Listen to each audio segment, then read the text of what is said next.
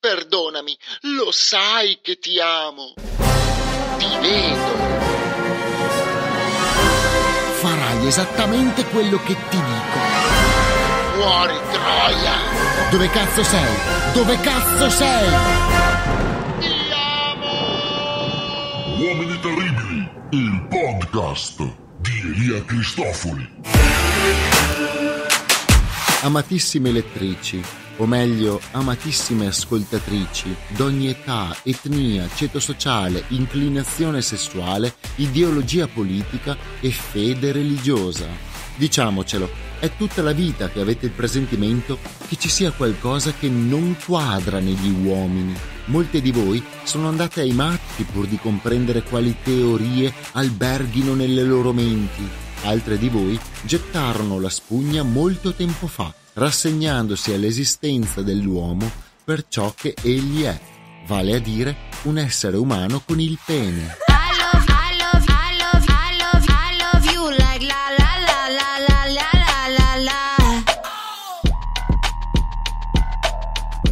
Qualunque sia la vostra storia, suppongo che durante il corso delle vostre vite, lunghe o brevi che siano, tutte voi abbiate avuto modo di constatare quanto gli uomini siano poco inclini a immagazzinare le vostre parole. E in quelle rare occasioni in cui ci sono casualmente riusciti, come essi siano soliti a elaborare i dati in maniera del tutto arbitraria, attribuendo significati a random anche alle vostre affermazioni più inequivocabili. Per dirne una, quando un marpione insiste e voi replicate col classico Eh, lasciami in pace! il traduttore simultaneo nella sua testa, puntualmente guasto, interpreta il tutto con Tu insisti e vedrai che te la do. è come quando gli rispondete Sono fidanzata. e in automatico lui vi risponde Ma io non sono geloso. Lo so, è sconfortante.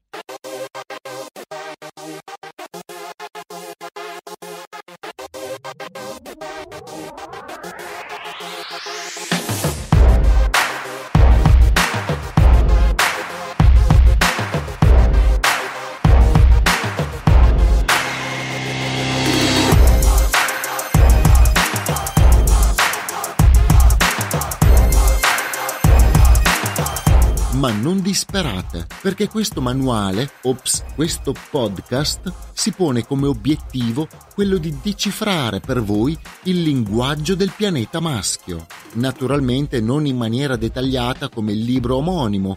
Scusate la marchetta. Vi mostrerò come intercettare potenziali narcisisti, stalker, psicopatici e tutto il resto della combricola degli uomini terribili.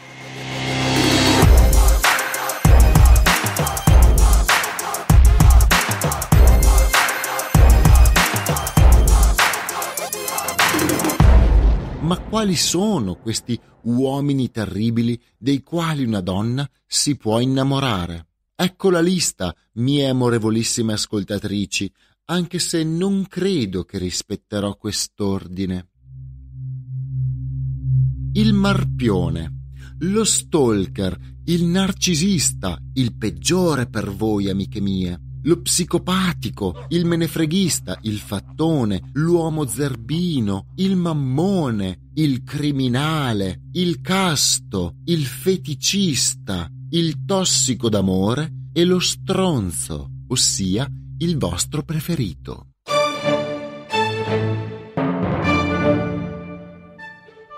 Il marpione e la legge dei grandi numeri. Il termine marpione deriva dal francese morpion, che significa piattola. Seppur si tratti del più innocuo fra i tipi d'uomo in lista, il marpione si aggiudica un posto d'onore tra i più snervanti di sempre. Quante volte vi è capitato di essere in discoteca a ballare con le vostre amiche e all'improvviso vi spunta un tizio da dietro che vi appoggia il pacco sul sedere strofinandosi contro di voi come un cane in calore?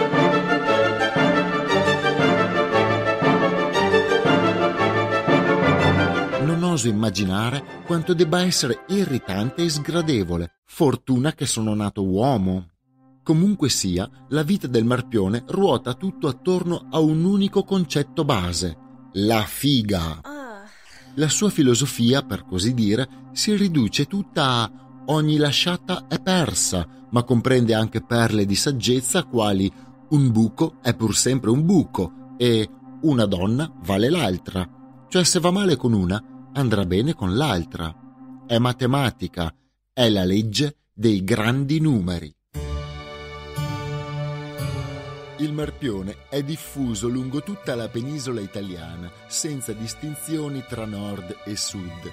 Non a caso, marpione fa rima sia con terrone che con polentone. È solito colpire in zone affollate, come discoteche, pub, locali notturni e bar particolarmente festaioli. Preferisce il buio, ma non disdegna la luce del sole non è raro che una donna se ne trovi uno in spiaggia o nel reparto ortofrutta del supermercato. Sovente il marpione agisce in branco, il branco genera audacia, così i marpioni si fanno coraggio l'un l'altro, assistono alle rispettive incursioni, festeggiano quando è andata bene e si consolano reciprocamente quando è andata buca.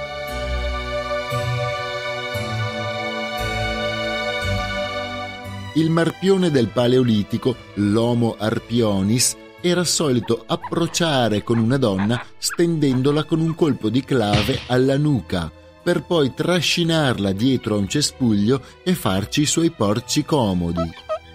Il marpione di oggi si è leggermente evoluto, più che altro perché nel corso dei millenni lo stupro è diventato fortunatamente illegale. Ma la caccia rimane un istinto primordiale in lui, anche se non si può certo definire un tiratore scelto. Il marpione non aggancia la sua preda a distanza con un fucile di precisione per poi colpirla in fronte con un proiettile d'amore. No, lui ci prova con tutte, con la speranza che prima o poi una o l'altra gliela darà. E prima o poi una o l'altra gliela dà sul serio perché nonostante tutto il Marpione può possedere potenti armi di seduzione di massa.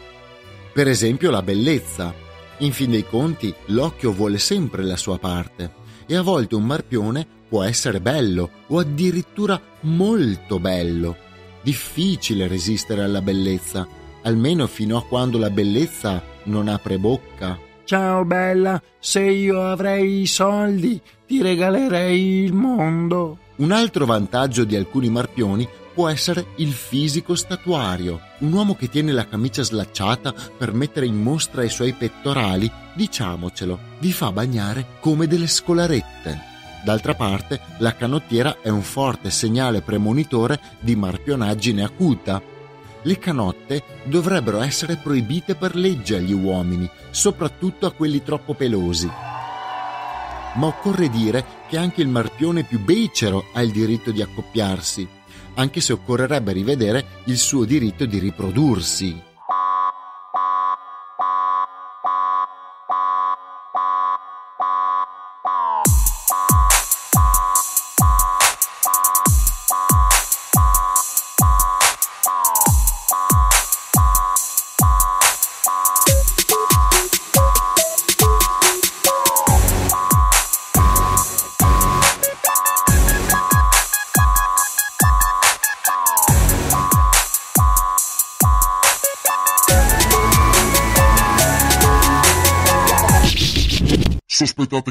Fidanzato o vostro marito o quel cazzo che è sia un marpione seriale? In fin dei conti, chi lo sa cosa combina quel pene dotato quando esce coi suoi amici cerebrolesi? Potreste seguirlo o farlo seguire, ma non è carino stalkerizzare, non trovate? Birbantelle. Comunque sia, non disperate.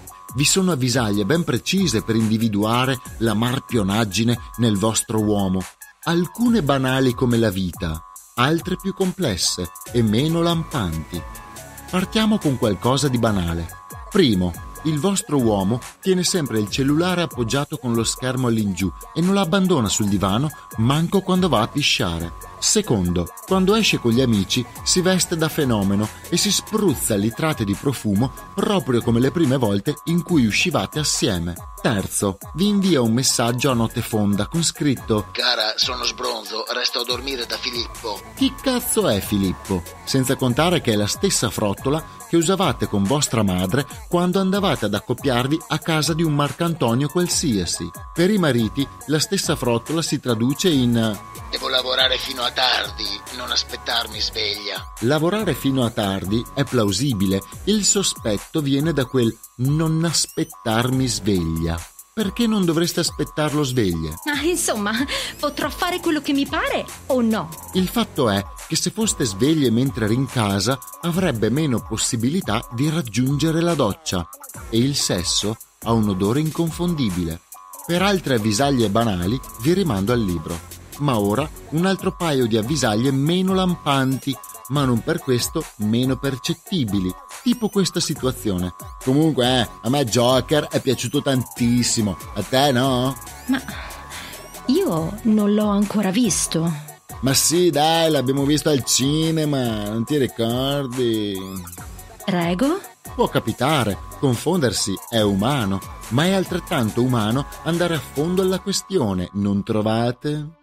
Ma il più subdolo dei segnali è senza dubbio quando lui smette di provare stimolo nei vostri confronti. A quel punto qualcosa non quadra più e non è raro che l'uno o l'altra vada a cercare il piacere altrove. Tuttavia esistono cause e concause ben precisi per questo, che troverete ovviamente nel libro, perché ora il tempo è quel che è. Test clinici dimostrano che durante un lungo fidanzamento la routine e l'alienazione possono trasformare voi e o il vostro partner in una persona infedele, talvolta occasionale, da una scappatella e via, tal'altra seriale, a cadenza più o meno regolare. Per conoscere tutte le cause e le concause del tradimento, consultare il libro di istruzioni Uomini terribili e come evitarli, disponibile su Amazon a pochi spiccioli. Attenzione, usare con cautela, non è un medicinale, ma può causare effetti collaterali come dipendenza cronica da conoscenza. Tecniche di difesa. Mie dolcissime e raffinatissime lettrici, se credete di sbarazzarvi di un marpione con frasi del tipo Sono fidanzata. abbiamo già visto cosa accade, che lui vi risponde Ma io non sono geloso. al che voi potreste ribattere Tu no, ma il mio moroso sì. A volte funziona, ma a volte no. Il marpione più assiduo è in grado di insistere a oltranza, tornando ripetutamente all'attacco fino a prendervi per sfinimento. Dunque, come si neutralizza? La dialettica è da sempre la miglior arma, tanto per attrarre quanto per contrastare. Se avete una certa parlantina potete mettere fuori gioco un marpione con alcune frasi di circostanza ben piazzate. Ve ne elenco giusto un paio, per tutte le altre sapete cosa fare. Tecnica della supremazia. Nonostante si presenti talvolta come un uomo sicuro di sé, il marpione è un concentrato di incertezze. Il linguaggio preistorico è spesso uno dei suoi punti deboli. Toccatelo nella sua stupidità e lo ferirete a morte. Chiedo venia, signore, ma mm, alla frequentazione di un siffatto esemplare non sono interessata. Ossequi. Lì per lì, il marpione potrebbe non cogliere il significato delle vostre parole, ma chiamandolo signore l'avreste comunque fatto sentire a disagio e con ogni probabilità se ne andrà smarrito e sconsolato.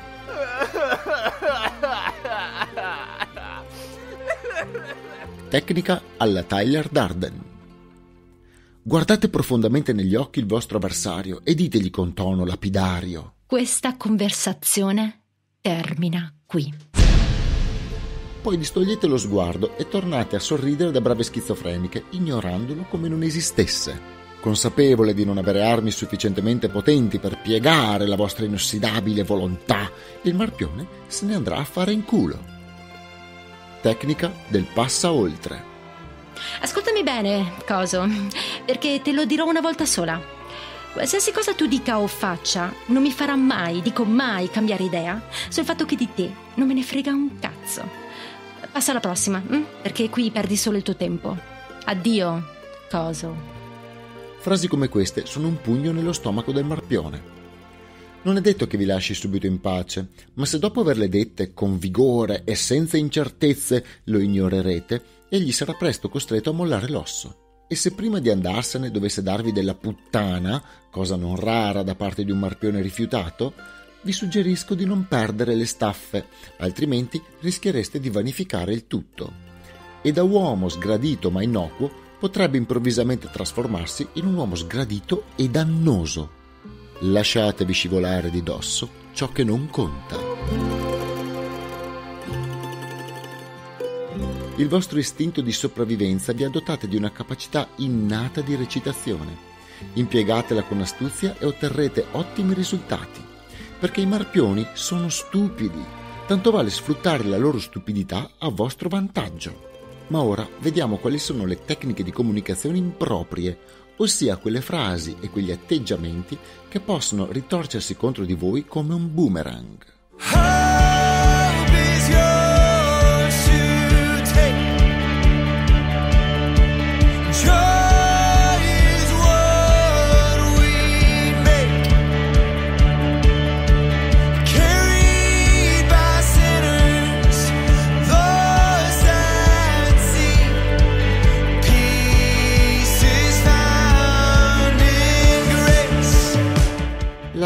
Gentilezza. Siete in un locale con delle amiche e venite importunate dal marpione di turno che non sembra avere l'intenzione di schiodarsi. E voi cercate di essere gentili. Mi spiace, ma non ho, non ho tempo. Sono, sono con le mie amiche. Ecco, a questo punto la vostra cortesia aprirà una breccia nella speranza del marpione, il quale ne approfitterà per infilarci subito un dito. E più sarete cordiali con lui, più lui si farà strada in quella breccia, ficcandoci dapprima tutta la mano, per poi farsi largo e oltrepassare il varco con tutto se stesso. Dovete capire che l'uomo medio funziona come un film sottotitolato, nel quale voi siete il film e i sottotitoli rappresentano ciò che lui capisce. Pertanto, al vostro mi spiace ma non ho tempo, sono con le mie amiche, il marpione coglierà inevitabilmente. Insisti così e vedrai che te la do. È come quando sorridete a un uomo e costui, a causa di un'inspiegabile associazione di idee, si convince che ci state provando con lui. Succede in continuazione e sono certo che da qualche parte nel mondo sta accadendo proprio ora. La gentilezza fa parte della buona educazione, ma talvolta può essere un'arma che vi si rivolta contro. Non abusatene, siate stronze.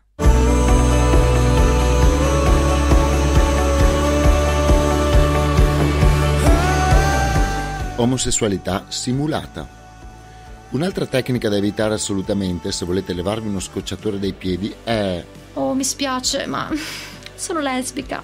A queste parole i pochi neuroni rimasti nella testa del marpione strappano bozze di champagne e brindano alla tripletta alla quale l'avete inconsapevolmente appena invitato. Già, perché il vostro mi spiace ma sono lesbica viene simultaneamente tradotto in Voglio assolutamente fare una cosa a tre. C'è poco da ridere, lo so. Il fatto è che la conoscenza che il marpione ha della donna omosessuale si limita ai video porno nei quali le lesbiche vengono per lo più rappresentate da incorreggibili porche che amoreggiano tra loro, senza per questo disdegnare pisellate occasionali. Perciò non prendetevela se al vostro tentativo di omosessualità simulata lo zotico vi risponderà Posso almeno guardare?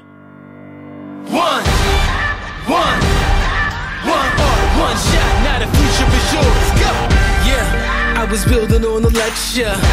Verses coming daily under pressure. Working on the plot and the scheme. The true stock trademark is at the edge of your dreams. I'm talking one. One shot for the kill. The breeze come freeze up straight. Vite parallele. Le vite parallele sono una serie di libri storici scritti a cavallo tra il primo e il secondo secolo d.C., più o meno, nei quali Plutarco, eh, grande storico filosofo del tempo, mette a confronto le vite di grandi personalità. Il più celebre è sicuramente il libro sulle vite di Alessandro Magno e Giulio Cesare, che li compara in una maniera molto particolare. Guardate, ve lo giuro, l'avrò letto almeno dieci volte e ogni volta ho pianto perché nessuno dei due, secondo me, doveva fare quella fine. Se ve lo state chiedendo, no, non c'entra nulla con la storia che sto per raccontarvi, ma ogni tanto devo fare il saputello e suggerirvi qualche bella lettura, non credete?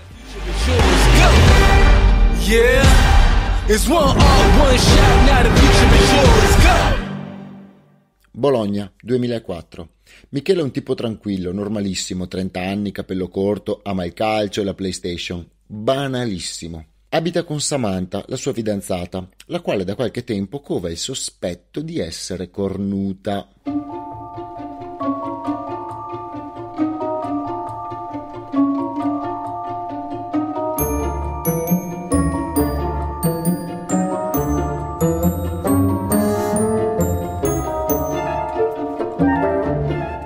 Venerdì sera Michele è solito passarlo con i colleghi dell'azienda di informatica per cui lavora. Iniziano subito dopo lavoro, verso le 18.30, partitina veloce a calcetto nel campetto sottostante, poi si docciano negli spogliatoi, si riempiono di profumo di marca e via a far festa. Come da rituale, partono con una scarica di aperitivi, dopodiché si fanno un'ora di strada per raggiungere una disco nel Mantovano.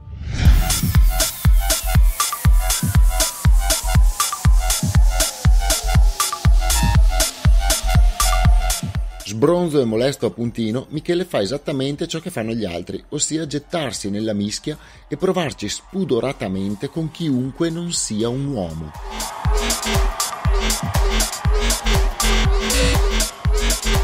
È un bel ragazzone Michele, normalmente piace alle donne. Peccato sia più volgare di uno sgarbi con la sindrome di Tourette. Vai a fare il culo! Fiondarsi come un avvoltoio dietro a una ragazza che sta ballando e strusciarsi contro per farle sentire il pacco in tiro non è esattamente una tecnica di seduzione.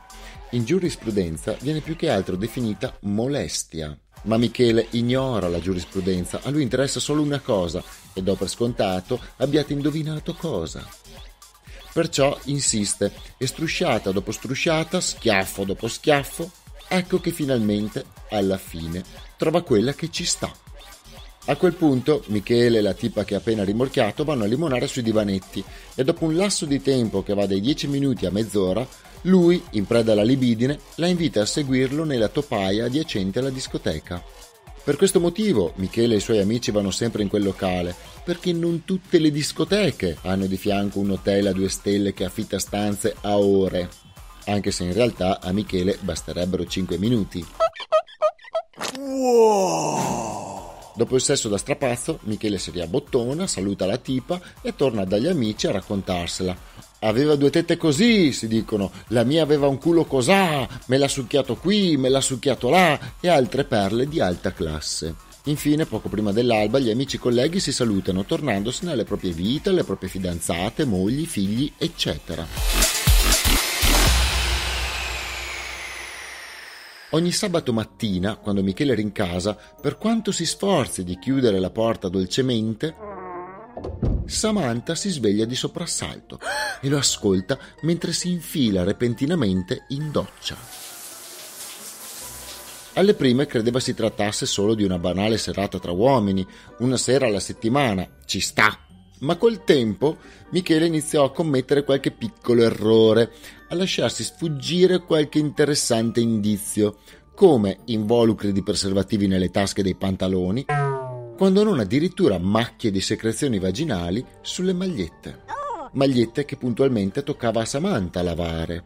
Ma la goccia che fece veramente traboccare il vaso fu quando Michele una sera rincasò troppo ubriaco per andare in doccia e si infilò direttamente nel letto, vestito così, ronfando beatamente. Samantha, come tutte le volte, era sveglia e avvertì subito e chiaramente un profumo di donna che non era il suo. E come se non bastasse, il collo del suo fidanzato era tempestato di succhiotti. Era praticamente fottuto.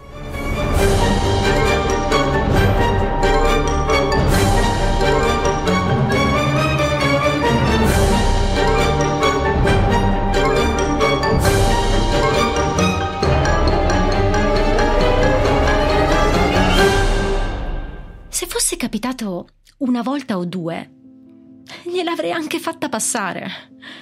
Ma dopo aver scoperto che era così tutti fottuti venerdì sera, avrei voluto ucciderlo.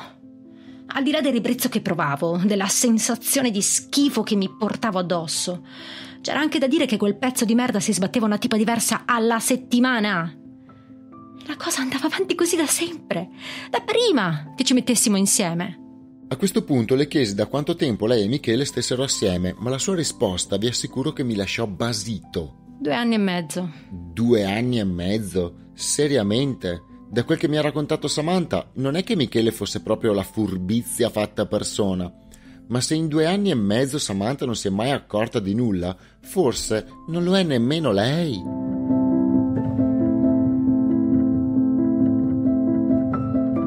Chiedo a Samantha se non si sia mai pigliata qualche malattia venerea e lei mi risponde così. Ora che ci penso, durante i primi mesi che stavamo assieme, mi presi la candida. Lì per lì credevo che la causa fosse il periodo di forte stress che stavo attraversando, soprattutto per via degli esami all'università. Ma col senno di poi, sono più che certa che mi l'abbia attaccata quel pezzo di merda. Non saprei, replico io. Suppongo che un pene con la candida non si scordi così facilmente, con tutte quelle pustole, quelle lacerazioni e il pus che sgorga. Beh. Michele rappresenta l'apoteosi dello stereotipo del marpione seriale. Vive per il suo venerdì sera, per quel rituale settimanale che lo spinge a mettersi continuamente in gioco, ma non per necessità né per sesso, ma solo per vanità, che è poi l'istinto primordiale di ogni marpione. Doveva provare a se stesso, ma soprattutto alla sua combriccola, che era ancora in forma, che continuava a piacere alle donne, che poteva averne quante ne voleva e che l'avrebbe sempre fatta franca con Samantha. E così i suoi amici. Nove traditori seriali in perfetta combutta tra loro, come una confraternita. Fossi in voi, mie carissime ascoltatrici, trarrei una conclusione ovvia ma assolutamente non scontata. Mai sottovalutare la complicità degli uomini con altri uomini.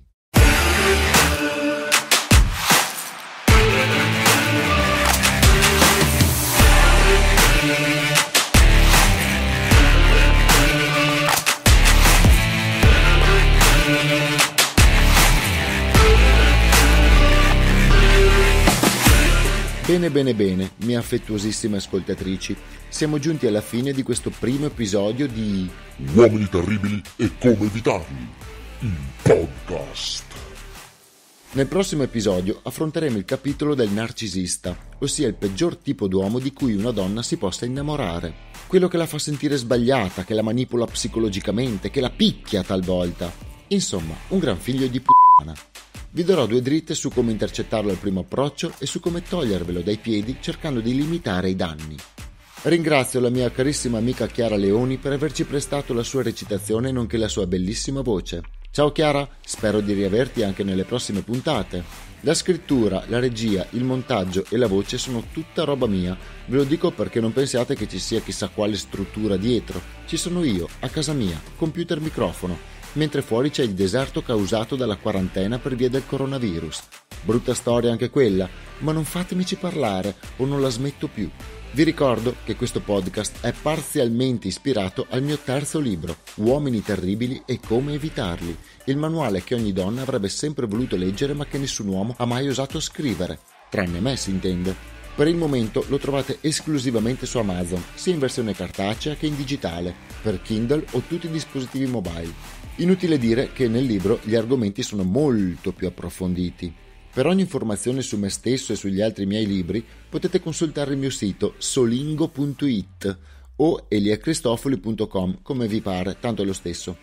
Qui troverete le informazioni anche sugli altri miei libri Lucio Piovaschi, Professione Misantropo, un romanzo pulp thriller ambientato nelle strade periferiche di Verona, tra sesso, droga e pestaggi, con un serial killer che ve lo raccomando.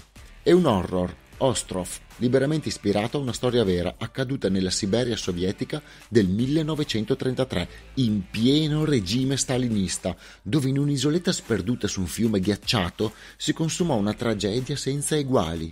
Mi raccomando, seguite la pagina Facebook e il profilo Instagram di Uomini Terribili, basta scrivere il titolo nella ricerca e li troverete al volo. Ma ora, mie garbatissime amiche, da Elia Cristofoli è tutto. Vi auguro un buon proseguimento e alla prossima puntata di Uomini terribili e come evitarli. Il podcast.